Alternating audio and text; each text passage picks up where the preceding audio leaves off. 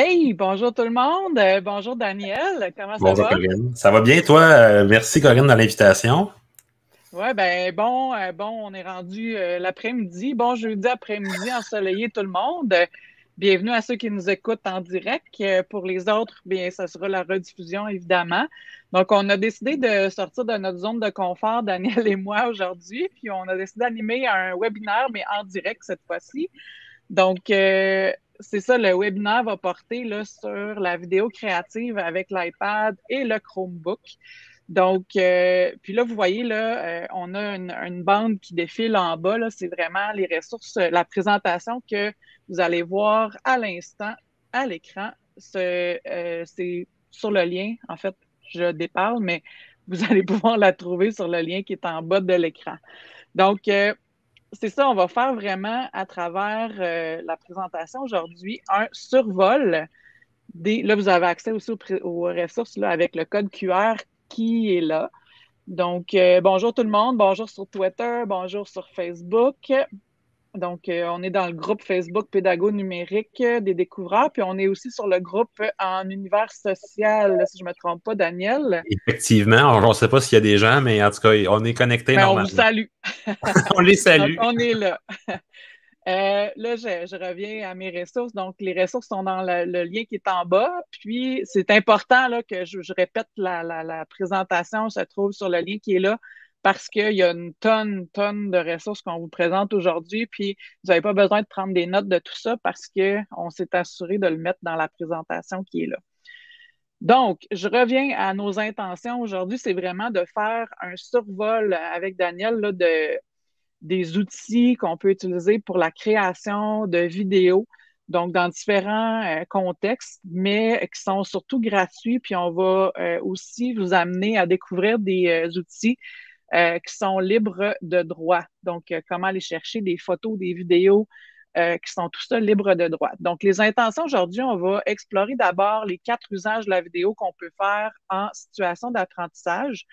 Ensuite, on va explorer des outils de création pour l'utilisation de la vidéo comme outil d'apprentissage, donc quand les élèves utilisent la vidéo. Puis ensuite, on va explorer des outils de création, euh, mais de, ce côté-ci, le plus de l'enseignant. Donc, évidemment, l'enseignant peut les utiliser. Là, euh, on peut utiliser les trois, euh, tous les outils qu'on va présenter pour réaliser ces capsules pédagogiques, mais on va en présenter spécifiquement là, pour l'enseignant. Donc, on va faire, on va être une bonne, un bon 30 minutes avec vous au moins. puis, comme je vous disais, il y a une tonne de ressources, mais n'ayez pas peur parce qu'elles sont toutes disponibles via le, via la présentation qui défile en bas de l'écran. Donc, tout d'abord, j'aimerais ça euh, commencer en vous disant que, euh, évidemment, la création de vidéos, soit en contexte pédagogique ou en contexte d'apprentissage, vient mobiliser vraiment, vient développer euh, plusieurs dimensions de la compétence numérique. Donc, vous avez sûrement déjà vu cette roulette-là. Donc, on parle de la compétence numérique autant chez les apprenants que les enseignants. Donc, ça vient, entre autres, développer nos habiletés technologiques, évidemment, mais j'insiste là, sur l'aspect collaboration parce que souvent, c'est un projet d'équipe dans un contexte d'apprentissage, l'aspect communication, parce que comme nous, aujourd'hui, on doit, on doit communiquer. Donc, euh, souvent, on, on, parle, donc euh, ça vient travailler la communication. Évidemment, on produit du contenu avec le numérique, donc ça vient développer cette dimension-là. Et la pensée critique, pourquoi? Parce que avant de publier une, vidéo en ligne, par exemple, de la diffuser à un public, il faut réfléchir à tout l'aspect libre de droit. Est-ce que j'ai l'autorisation, moi, de diffuser euh, les ressources qui sont présentes dans ma vidéo? Donc là, on vient développer la pensée critique, amener nos élèves à réfléchir à, cet aspect-là. Donc, tout d'abord, donc les quatre usages de la vidéo, là, je, me suis inspirée de l'auto-formation sur la vidéo créative que j'ai trouvée sur Cadre 21. Donc, c'est vraiment une infographie qui vient d'eux. Donc, il y a quatre façons d'utiliser la vidéo en contexte pédagogique. Donc, tout d'abord, euh, on peut utiliser du matériel qui est déjà fait. Donc, euh, les ressources pédagogiques, donc euh, avec une intention pédagogique claire, évidemment, on utilise une vidéo avec nos élèves. On peut l'utiliser pour documenter l'apprentissage, donc les preuves d'apprentissage, on en a parlé beaucoup avec la triangulation. Euh, des apprentissages. Donc, on utilise la vidéo pour un moyen de communication, d'évaluation et de rétroaction. Et nous, aujourd'hui, on va s'attaquer à ces deux usages-là. Donc, tout d'abord, comme outil d'apprentissage, donc les élèves qui sont les créateurs de contenu. Donc, l'outil d'apprentissage, donc c'est l'exploitation de la vidéo par les apprenants, donc la création et la production de contenu par nos élèves. Donc, pourquoi pas les amener plutôt qu'à être seulement des consommateurs de, de, contenu sur YouTube? On sait que nos élèves sont la plupart présents là. Pourquoi pas les amener à être également des créateurs et des producteurs de contenu là, sur ces plateformes-là? Et on va parler aussi dans un deuxième temps de la création par l'enseignant de tutoriels, donc dans un contexte pédagogique, puis de courtes capsules vidéo pour nos élèves. Donc, on, présente ces deux usages-là aujourd'hui. Donc, tout d'abord, comme je vous le disais, c'est la vidéo comme outil d'apprentissage. Donc, l'exploitation de la vidéo, les élèves qui ont la main sur les, mains sur les touches, puis qui, qui créent et produisent du contenu. Donc, qu'est-ce qu'ils peuvent créer comme type de vidéo? Donc, il y a des courts-métrages, des films muets, des reportages, des documentaires. Ils peuvent faire des vidéoclips, des web-émissions, de l'animation image par image qu'on appelle stop motion. Donc, c'est tous des types, j'en passe, là, c'est seulement un résumé de, du type de documents vidéo qu'ils peuvent produire, mais euh, c'est ce genre de production-là qu'ils peuvent faire. Donc, c'est important quand on travaille dans un processus de création vidéo avec les élèves qu'ils soient préparés. On ne saute pas tout de suite main sur les touches avec les caméras, les micros. Ils doivent vraiment avoir la, phase de pré-production. J'insiste sur cette phase-là ici, euh, qui comporte la préparation, le choix du sujet, euh, les recherches, euh, qui seront les membres de l'équipe, l'écriture du scénario, la production du scénarimage qui est vraiment important. Je vais vous en présenter un tout à l'heure. Donc, ils tout de suite quel type d'arrière-plan ils ont besoin, quel bruit ils ont besoin, quelle musique. Donc, les plans également. Donc, tout ça, faut que ce soit réfléchi avant que les élèves manipulent. Donc, on va être certain qu'ils répondent vraiment à, puis évidemment, de présenter aux élèves votre grille d'évaluation, vos critères d'évaluation par rapport à cette vidéo-là, c'est très, très, très important pour être, pour s'assurer qu'ils respectent ce qu'on va, euh, on leur demande. Ensuite, c'est la phase de production où les élèves, on ne va pas tout de suite dans l'application de montage, donc on s'assure qu'il y ait tout le matériel, les enregistrements sonores, la caméra, les, vidéos, pour ensuite tomber, là, je me suis trompée, là, c'est un, deux, trois, mais dans la phase de post-production. Donc, c'est là qu'on va faire le montage, le mixage, l'ajout d'effets, mais qui a déjà été décidé dans la période de pré-production. Puis, évidemment, on a la publication du produit final. Puis, c'est certain que euh, quand on a un, public réel, on, risque d'avoir un plus grand engagement de nos élèves dans notre projet. Donc, quand on est certain qu'il va être diffusé quelque part, qu'il y aura un public qui va le regarder, vous pouvez être assuré que vos élèves vont être davantage engagés dans la réalisation de leurs vidéos. Donc, il y a différentes questions à se poser en phase de pré-production. Donc, quel est le sujet de notre vidéo? Qui est le public cible?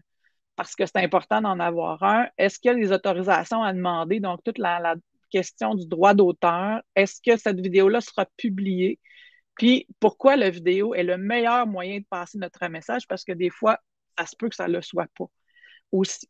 Donc, c'est des questions à se poser. Puis je, précise encore que cette ressource-là vient euh, de l'auto-formation, la vidéo créative sur Cadre 21. Euh, ici, je vous propose, euh, je vous parlais du scénario image, donc pour planifier, puis avoir une certaine phase de validation de l'enseignant. Donc, décrire chacune de leurs séquences, les lieux, les arrière-plans, les actions, euh, l'audio qu'ils auront besoin, etc. Donc, c'est important de planifier tout ça. Donc, ça, c'est tiré, là, c'est un exemple que j'ai eu dans une formation à la COP cette année, donc 2022. Donc, j'ai assisté à un atelier et c'est le modèle que j'ai réutilisé, que j'avais vu dans l'atelier. Donc, sans plus tarder, je vous présente un premier outil qui est iMovie, euh, pour faire, euh, évidemment, pour créer vos projets. Donc, c'est iMovie disponible sur le iPad et également sur les Mac. Donc, sur l'iPad, ils ont fait une, importante mise à jour là, dernièrement, ben, en fait, dans les dernières semaines. Euh, puis, il y a trois, maintenant, trois options là, de, projets, trois types de projets qu'on peut faire.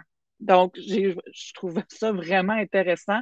Euh, je commence par le scénarimage parce que euh, c'est des modèles pour créer une vidéo ou une bande-annonce. Donc, avant, c'était un film ou une bande-annonce, mais maintenant, on a le scénario-image. Donc, vous vous souvenez, là, ce que je viens de vous présenter, la diapositive précédente, c'est important de planifier le projet. Donc, quand on parle du scénario-image, je vais vous montrer un exemple. Les liens sont cliquables.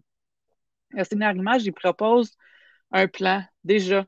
Donc, vous allez voir dans la, bande de gauche, il y a déjà un plan. Le scénario-image est déjà là. Puis l'élève peut déjà tout de suite planifier ce qu'il va mettre dans son projet aux différents endroits.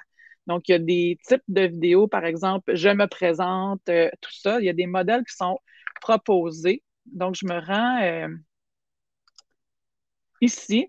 Donc, ici, c'est des tutoriels qui sont en anglais, qui sont faits par un enseignant distingué Apple qui euh, est au Royaume-Uni, si je ne me trompe pas si vous pouvez vous abonner à une chaîne YouTube, je vous conseille de vous abonner à sa chaîne à lui parce que vous allez être à jour dans tout ce qui est euh, Apple, euh, donc tout ce qui est iPad, je veux dire. donc, vous allez être à jour avec ses vidéos.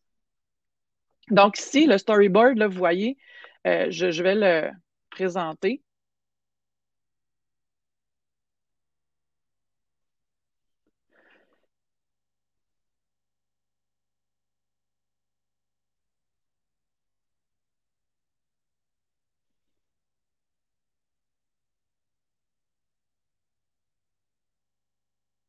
Donc, vous voyez tous les types de projets euh, à propos de moi. Ça peut être une vidéo de cuisine, un voyage. Donc, il y a différents modèles. Puis là, il va cliquer sur un, une expérience scientifique. Là, il, clique sur voyage. Puis là, il y a déjà une musique qui est associée au projet qu'on peut venir modifier, là, mais il y a un scénario image également qui est là. Donc, vous voyez, vous pouvez changer. Là, vous voyez le scénario image qui est là. Donc, les élèves peuvent juste venir planifier ce qui va aller dans les différentes sections. C'est un peu comme le modèle papier que je vous ai présenté tout à l'heure. Donc, ça, c'est une nouvelle euh, fonctionnalité qui est présente dans iMovie pour le iPad. Euh, je passe vite là, parce que ce n'est pas l'intention aujourd'hui de vous présenter comment fonctionne iMovie, mais qu'est-ce qui est intéressant avec iMovie?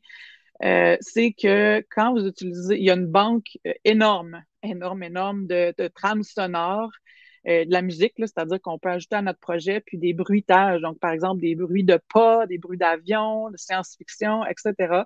Et tout ce qu'on place, qu'on prend dans cette banque-là, c'est libre de droit. Donc, on peut s'assurer qu'on peut diffuser notre projet par la suite sans s'inquiéter des droits d'auteur. Donc, ça, c'est un avantage. Puis évidemment, dans la, dans le type de projet film, là, vous avez une chronologie là, qui s'affiche, puis vous pouvez simplement placer votre contenu, vous ajouter des titres, des transitions, etc. Donc, c'est quand même facile.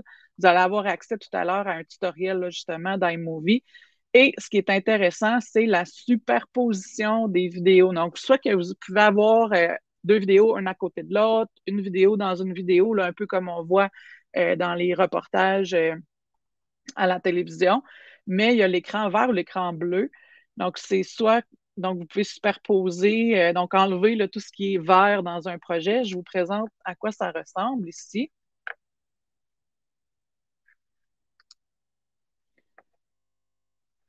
Donc, on va voir euh, dans la vidéo. Donc, c'est ça sur des vidéos. Donc, euh, le, ici, celui qui réalise le tutoriel a une vidéo de plage, puis va s'ajouter au-dessus. Donc, on, on place d'abord le décor, qui est la vidéo ou la photo, et par la suite, on place ce qui a été filmé sur fond vert. Et là, euh, on va voir le personnage s'ajouter au décor. Euh, donc, tout ça facilement dans, le, dans iMovie pour l'iPad et sur l'ordi aussi.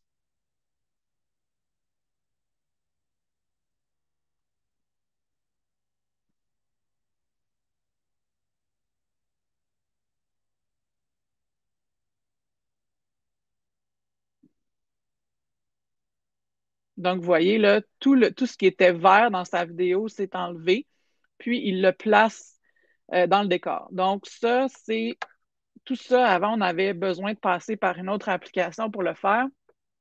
Maintenant, c'est intégré à l'application iMovie. Euh, oups, j'ai passé euh, trop rapidement, là, mais j'ai aussi, là, ça peut donner place à vraiment, il y a, une possibilité infinie là, pour faire des effets avec l'écran vert. Je vous en présente un exemple ici. Donc, oui, ça peut être filmé sur un écran vert, mais vous pouvez utiliser n'importe quoi qui est vert aussi.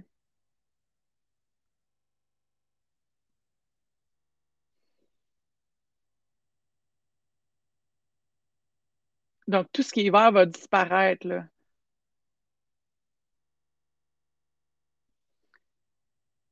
Donc, voilà.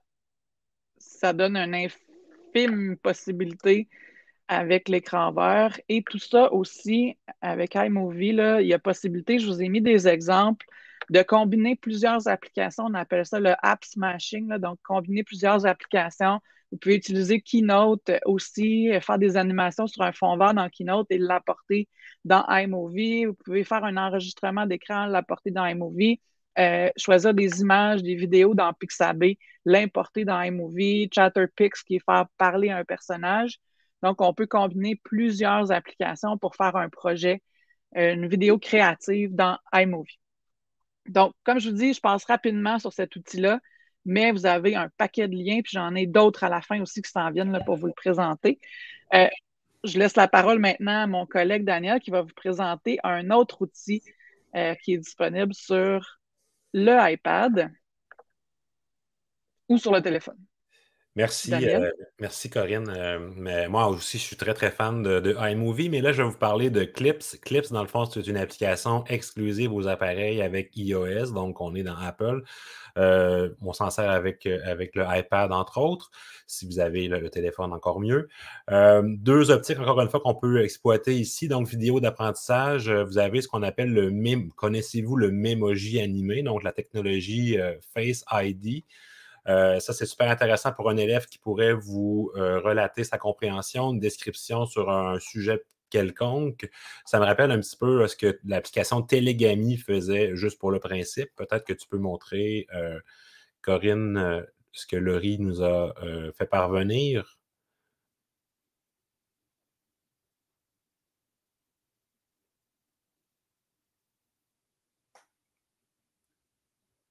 Que ça fonctionne? On voit le. OK.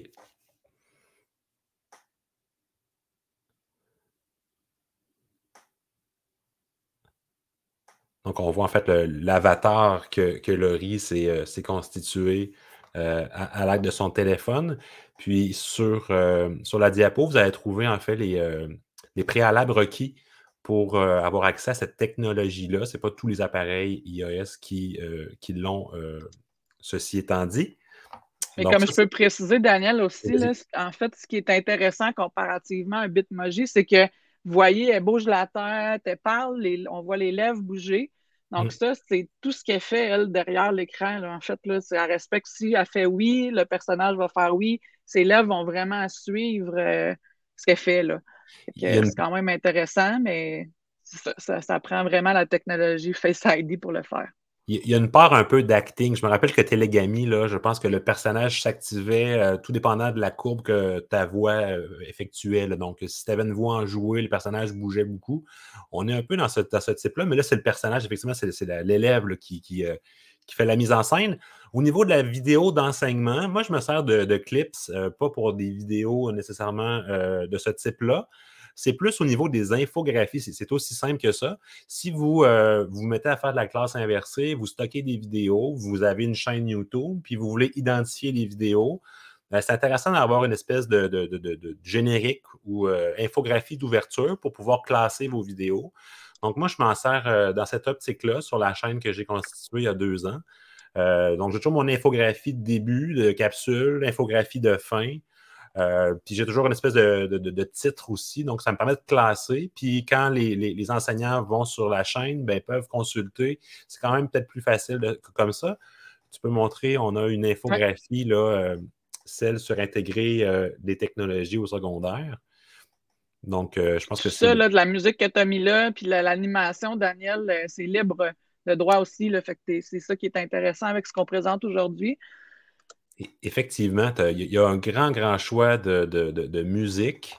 Euh, j'ai fait plusieurs essais au cours des années, puis euh, je n'avais pas la même musique à chaque fois. Euh, je trouvais que ça fitait bien avec ce que je voulais faire. Une petite musique un peu plus là, électro. Donc, ça, c'est super intéressant. Puis, je les ai comptés, Colin, il y a une centaine de musiques euh, libres de droit. C'est vraiment un plus. Là. Donc, euh, c'est vraiment un coup de cœur. C'est vraiment de Pour moi, pour ma part, pour la, vidéo d'enseignement, c'est vraiment l'enrobage. Donc, le début, la fin, une petite infographie.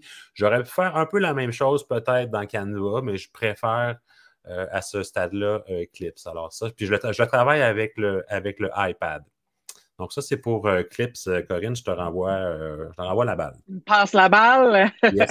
Super. ben, moi, aujourd'hui, je, je, je, vous présente Canva, mais je ne vais pas vous faire le tour de l'application parce que j'ai pris la peine de l'enregistrer cette semaine parce que j'ai, il y a vraiment, ça aurait été vraiment, vraiment trop long de vous présenter Canva, mais toujours dans un souci d'outils gratuits. Euh, Canva, là, ça a été un, c'est un gros coup de cœur. Hein. C'est pas ça a été, mais ça l'est toujours. Euh, c'est des belles découvertes que j'ai fait euh, dans Canva pour la création de vidéos. On le voit beaucoup dans pour créer des présentations, des infographies. Mais vraiment, là, Canva a un gros potentiel. je parle de Canva Éducation. Donc, au centre de service, avec notre adresse csdq.net, on a accès à, tout ce que je vous présente aujourd'hui, donc toutes les images euh, réservées à l'éducation.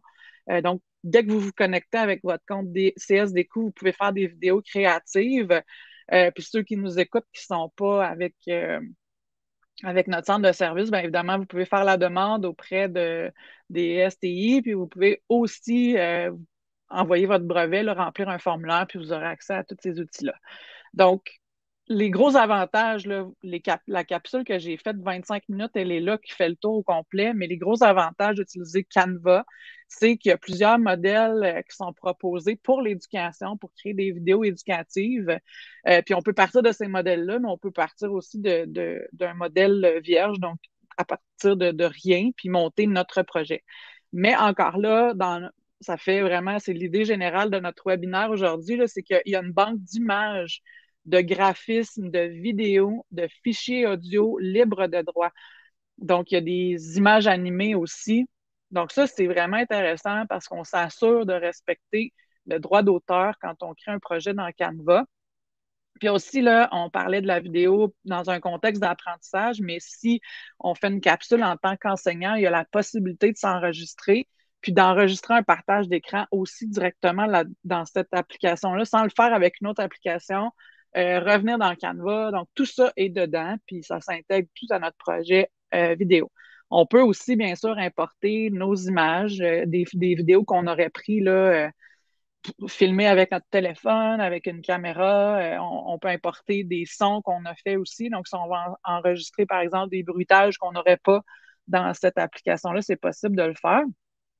Mais quand même, il y a quand même une belle grosse banque qui est disponible. Puis aussi, c'est qu'il y a plusieurs applications qui sont maintenant connectées, euh, des applications, là, sans doute que vous allez connaître le nom, mais qui sont directement dans Canva. On n'a pas besoin d'aller dans Bitmoji, par exemple, pour aller chercher notre Bitmoji, le mettre dans notre projet. Tout ça est direct dans l'application Bitmoji Pixton qui nous permet de créer, euh, ben, aller chercher dans une banque de personnages. Giphy, vous connaissez Giphy, donc c'est des GIFs animés euh, donc oui, oui, ça peut venir très distrayant dans un projet vidéo, mais il y a des belles fonctionnalités qu'on peut utiliser, comme par exemple, si on veut ajouter de la pluie à notre projet, ben en fait, on peut juste chercher pluie transparent dans la banque de recherche directement dans Canva, puis on peut mettre de la pluie à notre projet là, qui est en arrière-plan. Euh, il y a Google Maps si on veut se servir pour présenter des lieux. Pas besoin d'aller faire des saisies d'écran, c'est directement dedans. On a accès aux emojis, Pixabay que je vous ai présenté pour chercher des vidéos et des images libres de droit.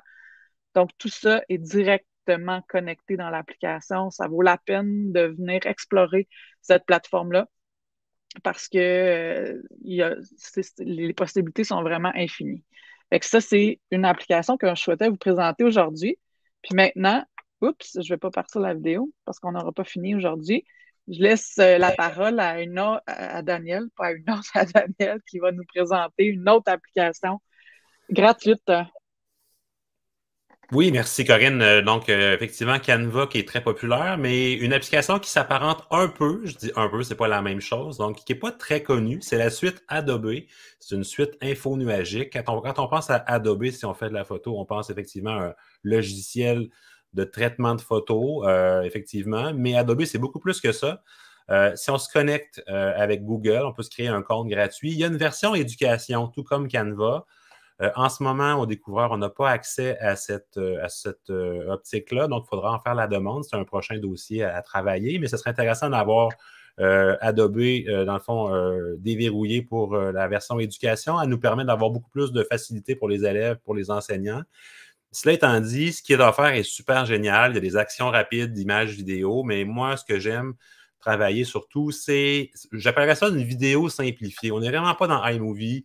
Euh, c'est pas de l'édition proprement dit, c'est davantage de la création de vidéos. Euh, ce qui est intéressant, en fait, c'est la. Quand je dis que c'est simplifié, il y a euh, une narration qui est facilitée. Vous avez à chacune des diapos. En fait, quand on ouvre une session, euh, peut-être que tu peux même euh, essayer d'ouvrir pendant que je, le dis, là, mais si tu. Ouais, mais tu n'as peut-être pas de compte, par contre, toi, euh, Corinne. Enfin, bref.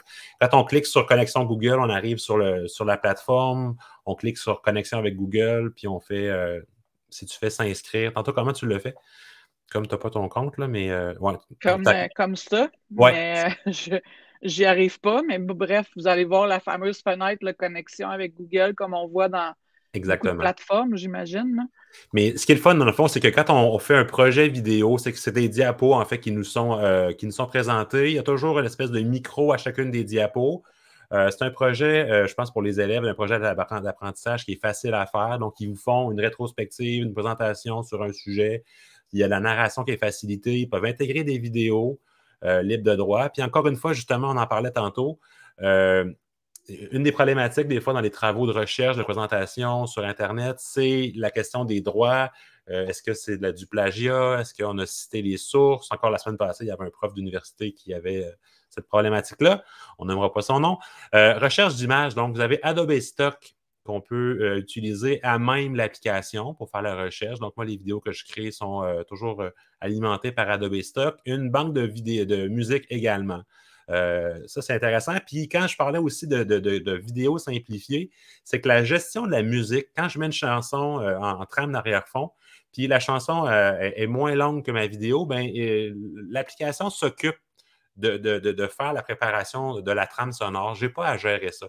C'est vraiment, vraiment simplifié par rapport à, ce que ça pourrait se faire avec iMovie. Donc, ça, c'est un coup de cœur. Ça fait 3-4 ans que je m'en sers. Il y a la vidéo que j'avais mis en exemple. Euh, je m'en sers beaucoup pour des présentations peut-être didactiques sur des sujets. La vidéo que vous avez peut-être vue euh, au découvreur sur euh, la citoyenneté à l'ère du numérique. Je pense qu'il y a quelques personnes qui l'ont vu. Ouais. 289. c'est pas pire. C'est ça. Donc là, on ne le voit pas. C'est sûr, peut-être on n'entend pas la, sono. Ce qu'on voit aussi, c'est l'étiquette ou l'espèce de bandeau Adobe Spark. Là, je ne l'ai pas vu dernièrement dans la nouvelle mouture. Donc, mais effectivement, qu'il y avait ce bandeau-là c'est gratuit, mais c'est ça, c'est info nuagique. Donc, euh, il faut quand même le dire. Donc, ça ferait le tour pour euh, Adobe Express. Ben, super, euh, merci. Donc, ça, je pense qu'on a fait le tour des, outils que les élèves peuvent utiliser, mais dans ce qu'on va vous présenter dans la section, dans la section suivante des outils pédagogiques, bien sûr, vous pouvez utiliser les, les, les outils qu'on a présentés maintenant, mais vous pouvez aussi, les élèves, vice-versa, les élèves peuvent utiliser les, outils qu'on peut présenter dans la section outils pédagogiques. Donc, euh, la vidéo comme outil pédagogique, donc c'est la création par l'enseignant de tutoriels ou de courtes capsules vidéo pour les élèves. Donc, pourquoi, pourquoi faire des vidéos pour les élèves? Ben, c'est être là où sont les élèves. Donc, les élèves, on sait que euh, un, ils sont des grands consommateurs de vidéos sur YouTube. Donc, pourquoi pas aller les rejoindre dans la plateforme où ils sont beaucoup. Donc, pour aller créer des tutoriels puis des courtes capsules vidéo pour présenter euh, différentes notions. Donc, euh, j'ai exploré également dans les. Il y a différents outils qui sont présentés ici. On existe davantage, mais on était vraiment dans la gratuité puis dans la facilité aussi. Donc, je vous présente trois façons de faire des tutoriels aujourd'hui, des, capsules vidéo. Donc, il y a Flipgrid, on le connaît beaucoup pour aller recueillir euh, des, des, capsules vidéo de nos élèves, mais Il y a aussi avec la fonction caméra, je l'ai présenté. Là, si vous cliquez sur le lien, vous allez y avoir accès là, directement parce que je l'ai mis directement aux minutes que je parle de ça dans mon webinaire, mais on peut faire là, vraiment des, des, des, vidéos comme on fait dans Loom ou Screencastify. On s'enregistre avec un partage d'écran, on peut ajouter des effets, donc euh, on peut mettre des arrière-plans, on peut venir, on a un tableau, on a accès à un tableau blanc. Donc, c'est vraiment euh, l'outil, c'est gratuit. On n'a pas besoin de faire de demande pour l'utiliser gratuitement. Là, c'est gratuit. On se rend dans Flipgrid, puis nos vidéos sont euh, emmagasinées, en fait, stockées sur la plateforme. Donc, c'est une plateforme qui, euh, qui est par Microsoft. Donc, euh, avec votre compte Microsoft, vous pouvez vous connecter ou encore, il y a possibilité de se connecter avec votre compte Google. Donc, on peut l'utiliser dans un contexte pédagogique avec les élèves, mais on peut s'en servir également pour créer du contenu. Donc, ça, c'est une belle, euh, une belle option que j'ai découvert dans la dernière semaine. Il y a aussi Loom, évidemment. Je vous ai mis des tutoriels sur chacune, chacun des liens qui sont là. C'est gratuit pour l'éducation. Il faut toutefois en faire la demande. J'ai mis le lien ici pour faire la demande. Donc, c'est un montage quand même plus limité. Là, je vous présente Screencastify qui a un outil de montage un peu plus avancé. Euh, il y a un partage par lien ou par téléchargement, donc on peut télécharger la vidéo par la suite. Puis, il y a quand même une bonne qualité vidéo. Donc, ça, ça nous permet de nous enregistrer, faire un partage d'écran. On se voit là, dans, dans l'écran ou pas, là, donc c'est à votre choix. Il y a Screencastify également, qui est une extension euh, qu'on installe sur euh, notre navigateur Chrome. Puis, euh, quand je dis un montage plus limité, là, donc dans Screencastify, il y a un outil de montage, mais là, je tiens à préciser que la, limite gratuite là, est de 5 minutes. Donc, c'est pour faire, mais c'est correct, pour assez, c'est suffisant pour capter l'attention de nos élèves. Donc, on peut faire des courtes capsules, vaut mieux s'en tenir à des courtes capsules, mais il y a une limite de 5 minutes. Euh, sinon, il faut avoir la version payante. Puis ceux qui utilisent euh, Edpuzzle, ben, ça, il y a une intégration possible directement euh, à partir de Screencastify avec Edpuzzle. Moi, c'est vraiment celui que j'utilise. Puis, ça envoie vos vidéos là, directement dans votre Drive. Donc, ils sont enregistrés automatiques. Donc, si vous fermez tout ça, ben, votre vidéo va quand même être sauvegardée une fois que vous l'avez enregistrée. Donc, ça, c'est deux outils qui nous ben, en fait, trois outils qui nous permettent de faire des enregistrements d'écran avec euh, notre visage, parce qu'on sait qu'il y a l'effet enseignant qui vient quand on se montre la binette dans nos capsules vidéo. Et il y a aussi, si vous travaillez avec un iPad, euh, il y a l'enregistrement de l'écran du iPad qui est possible. Donc, pour faire, par exemple, une démonstration euh, mathématique, vous pouvez utiliser Notability, faire l'enregistrement de l'écran, donc tout ce qui se passe à l'écran de votre iPad, puis ça vous fait une vidéo par la suite. Si vous voulez présenter une application facilement à vos élèves sans avoir à passer par diverses applications, ben faites simplement un enregistrement. Comment on fait ça? ça tous les iPads ont cette fonctionnalité-là. On a un micro, il faut l'activer, par exemple, mais euh, vous pouvez euh, faire une visite d'un lieu dans Plan, dans Google Maps, et tout enregistrer ça à partir de votre iPad aussi, donc facilement, puis ça se stocke euh, par la suite dans votre, euh, dans votre pellicule, dans vos photos de votre iPad ou de votre téléphone, tout dépendamment. Puis, je vous ai mis en référence ici euh, une présentation de Sylvain Duclos à la COPS 2022 qui est sur la création de vidéos pédagogiques dans lequel il vous présente différents conseils pour faire des capsules. donc, comment susciter l'engagement de nos élèves envers nos capsules vidéo. Donc, il présente tout ça dans euh, cette présentation-là. Donc, je vous l'ai mis en lien ici. Euh, ben, évidemment, je n'ai pas besoin de vous préciser. J'ai mis que l'enregistrement du iPad est disponible seulement sur le iPad, que... mais les autres permettent de faire la même chose, mais sur un ordi.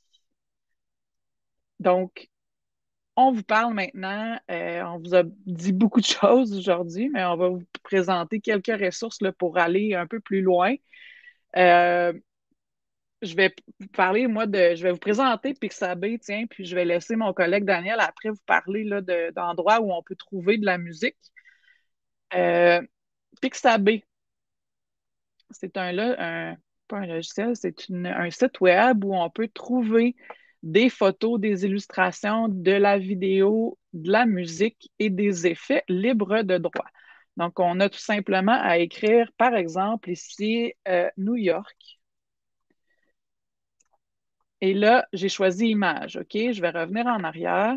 Donc, si vous avez une tonne de vidéos sur, de photos sur New York ici, et par la suite, vous pouvez la télécharger gratuitement.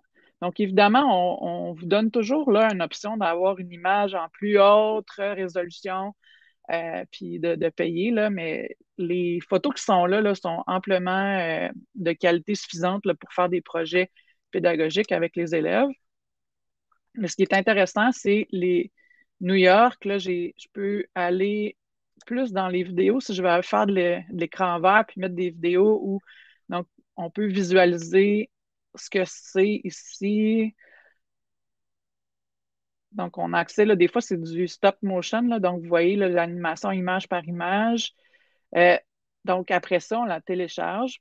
Puis, il y a, on a accès là, ici à la musique, des effets sonores. Donc là, je sais pas, ah, tu vois, je ne pensais pas que j'allais avoir des effets sonores sur New York, mais euh, j'en ai un. Donc, je peux le télécharger ici pour ajouter à mes projets vidéo.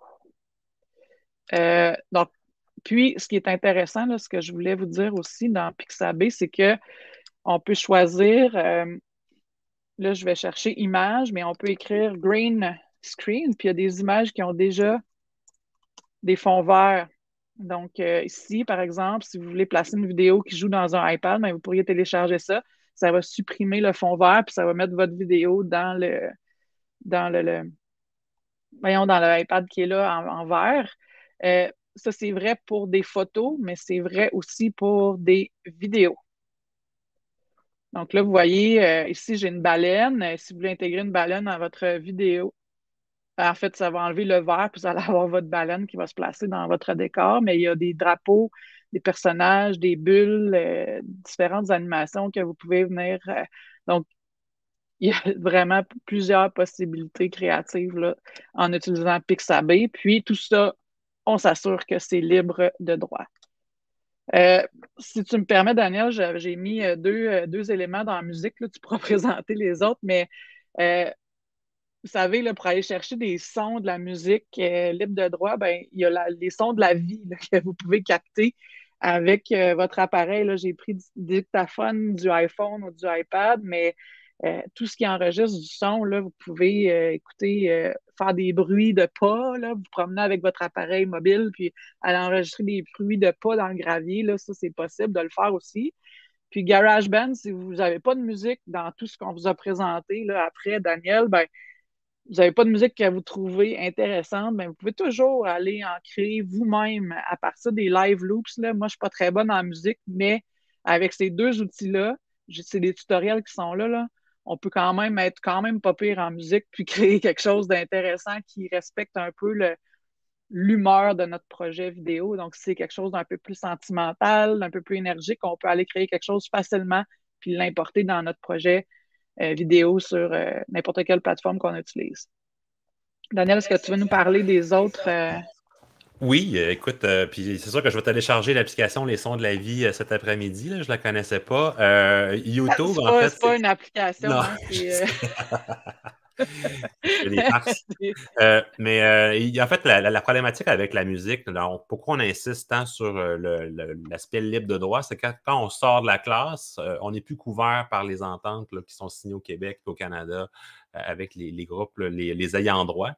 Euh, si vous publiez une vidéo sur YouTube avec une musique connue, euh, YouTube va vous le dire, vous n'avez pas le droit à la musique. Euh, il y a quelqu'un qui dispose des droits. Donc, effectivement, il faut passer par un autre chemin. Donc, les, musiques libres de droit. Sur YouTube, vous avez le lien sur la diapo. Vous allez trouver en fait l'accès à la bibliothèque de musique libre de droit. C'est vraiment génial. Il y en a pour tous les goûts, c'est YouTube.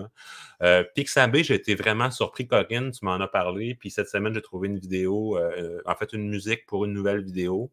Par le passé, j'avais utilisé Bensound aussi. Euh, elles sont peut-être là par ordre d'importance. Si on passe de YouTube jusqu'à Free Music Archives, il y, en a tout plein. Là, des, euh, puis il faut vraiment regarder euh, ce que les, les, créateurs vous demandent. Souvent, ils vous demandent juste de, nommer la provenance. de, la musique et, et ça fera. Donc, il n'y a pas de frais à payer. Euh, il y avait Jamendo aussi qu'on avait parlé. Donc, ça, c'est pour euh, la musique. Mais mon gros coup de cœur, c'est YouTube. Euh, c'est la bibliothèque de musique libre de droit. Allez voir ça, c'est super. Super. Donc, toujours dans l'esprit de vous donner des ressources, là, je vais laisser Daniel enchaîner avec les accessoires, parce que quand on fait des tournages comme ça, pour s'assurer d'avoir une qualité, hein, c'est important d'avoir quelques accessoires. Oui, donc là, pour les, euh, pour les accessoires, c'est vraiment des, des, euh, des, faits vécus. Alors, au service éducatif, on s'est équipé, là, c'est, en fait, c'est des conseils de Steve Quirion au Récit Univers Social que je salue qui n'est pas à l'écoute, mais que je salue quand même. Donc, le, micro, en fait, cravate, le Rode Smart. Euh, il faut euh, se prémunir aussi pour le mouvement, donc avoir une extension. Euh, j'ai fait des tournages avec ça sur un iPad. Les élèves étaient à l'avant, ils jouaient de la musique. Moi, j'étais en arrière, j'entendais le son parfaitement. C'est vraiment fort ce que ça peut vous donner comme résultat. Euh, si vous voulez faire de la capsule à la maison, faire de la, pour euh, la pédagogie inversée et tout et tout, là, je suis en train d'essayer en ce moment même, je me suis créé d'un Blue Yeti euh, sur conseil de Corinne. Alors, super micro polyvalent, donc il y a plusieurs ambiances, plusieurs modes d'enregistrement. Là, je suis en ambioïde, en cardioïde, non, je ne me rappelle plus. Je pense que c'est cardioïde. On a fait de même. Mais ça, c'est juste pour moi. Donc, un super micro qu'on pourrait utiliser. Euh, c'est des, micros en fait USB, donc c'est ça qui est fou. Euh, on peut euh, les, gérer entre autres dans GarageBand ou dans toutes les applications de vidéo. Donc, ça, c'est des trucs qui sont intéressants. Vous avez les liens Amazon pour ne pas faire de trop, trop de pub. Donc, si vous voulez commander les, objets. Si on va à l'autre diapo, Corinne, on a. Ça s'en vient. On a ce qui est intéressant aussi de quand on passe à un tournage un tournage qui s'étire plus que 5-10 minutes. Euh, on a euh, effectivement le téléphone. On peut faire un tournage avec son téléphone. Euh, bon, les appareils Apple ont quand même un, certain avantage, je pense, au niveau de la vidéo. Donc, si on branche le micro-cravate sur, sur l'appareil téléphonique, donc le, téléphone intelligent, je pense que ça fait un bon duo pour plus de stabilité, qu'est-ce qui est fatigant dans le fond sur une vidéo souvent, c'est justement le, fait que l'image n'est pas stable. Je vous ai mis en fait le trépied qu'on a acheté au service éducatif. C'est un trépied de marque Slick. Euh, il y a même une espèce de, j'ai oublié le nom, là, mais euh, c'est le truc qui nous dit si on est à niveau là, pour les menuisiers, menuisières à l'écoute, vous serez un niveau. Donc, euh, il y a un niveau en fait sur le trépied, donc il n'y a pas plus stable que de savoir où on est. Et si on tourne. Euh, Daniel, si je, me, peux me permettre aussi, euh, dans le fond, là, si vous n'avez pas ça, ben, c'est toujours possible aussi de le mettre, l'outil avec lequel vous euh, tournez, là, de le mettre sur une, sur une plateforme qui est stable, comme un bureau. C'est certain que dans les mains d'élèves, ce n'est pas l'idéal, mais quand on le place sur un bureau ou sur une étagère, donc il y a moins de possibilités là, que, que ça bouge. Effectivement. Euh, si vous voulez euh, vraiment la totale, il y a des trousses qui existent euh, aux découvreurs qui ne sont pas très, très connues. Donc là, peut-être qu'elles vont l'être un peu plus. Vous avez les liens pour la réservation. Ce sont deux trousses séparées qui sont disponibles à la médiathèque du Centre de services des découvreurs. Donc, il y a la trousse écran vert. Tantôt, Corinne parlait de l'écran vert, entre autres, avec iMovie sur iPad. Et il y a la trousse d'éclairage. Donc, on privilégie tout le temps la lumière naturelle de la classe, mais si vous n'êtes pas vraiment chanceux cette journée-là, bon, vous prévoyez un tournage plus sombre.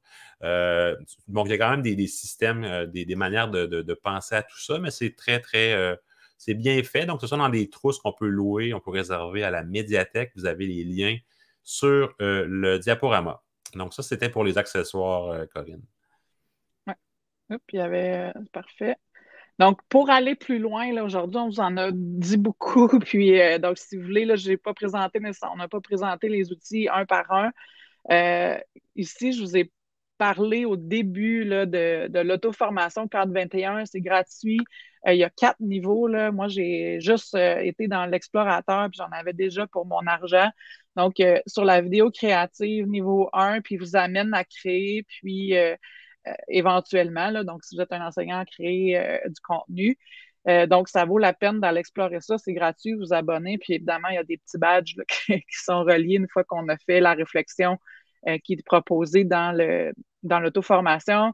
Il y a Apple Teacher qui est présent. Là, je, m'excuse du terme anglais, mais c'est comme ça que ça s'appelle. je veux dire, il n'y a pas de traduction. c'est Google, Google, Apple Teacher, c'est le volet iMovie qui fait le tour euh, de. Je peux peut-être aller faire un petit tour là. Donc, euh, vous vous abonnez là, tout simplement avec votre identifiant, puis tout ce que je vous ai présenté, là, donc euh, pour faire des films, comment on fait de l'élagage, les transitions, les photos, les titres, la superposition, comme je vous ai présenté, comment on fait des bandes annonces, les pistes audio. Donc, c'est certain que ce n'est pas en fonction de la nouvelle version d'iMovie, mais vous allez voir, là, vous allez quand même vous retrouver, là, la plateforme n'a pas changé là, quand on vient pour faire des transitions, des titres, tout ça. donc, ça peut être une belle façon d'explorer, puis tout ça, c'est gratuit également. Euh, vous avez des vidéos qui sont. Oh, pardon. Vous avez des. Pas des vidéos, mais vous avez des livres, euh, La créativité pour tous. J'en ai placé un ici, le guide de l'enseignant. Donc, ici, dans le guide de l'enseignant, moi, j'ai présenté celui-là qui est plus pour les élèves. C'est des pas à pas pour faire euh, des vidéos créatives avec les élèves. Puis vous avez le guide de l'enseignant, mais le guide de l'enseignant regroupe euh, tous les volets créatifs. ici, c'est pour les jeunes élèves. Il y en a un également pour les, élèves plus âgés. Euh, donc, c'est dans le guide de l'enseignant, vous avez aussi la création de la photo, de la vidéo, vous avez de la musique. tout ça dans le guide de l'enseignant. Puis, il y a des petits guides séparés comme ça pour les élèves, pour chacun des volets créatifs. Je vous ai parlé là, de Jacob, la chaîne YouTube à laquelle vous abonnez pour avoir accès à toutes les nouveautés, toutes les nouveautés en lien avec euh, le iPad et le iPhone. Et finalement, vous avez euh, les différents défis créatifs, entre autres l'écran vert que je vous ai présenté tout à l'heure, avec le, squelette là, puis la, loupe qui passe par-dessus. Donc, on vous guide pour réussir à faire ce défi créatif-là. Donc, ça vaut la peine d'aller explorer ces ressources-là. Puis, euh, on conclut, on est presque rendu à la fin, mon Daniel. Oh oui. Donc, euh, euh, évidemment, il y a, une fois que vous avez visionné ce, ce webinaire-ci, vous pouvez obtenir, en répondant à quelques questions, votre badge pour pour reconnaître en fait les heures de le temps de développement professionnel que vous avez fait en visionnant notre webinaire.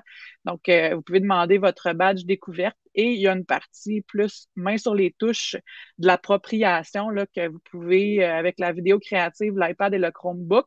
Ici, dans cette euh, appropriation-là, on vous demande évidemment de créer quelque chose, donc de, de vous lancer, de créer quelque chose, puis par la suite, vous faites la demande en soumettant un petit projet que vous avez créé et euh, vous allez avoir la badge d'appropriation qui reconnaît encore là des heures de développement professionnel.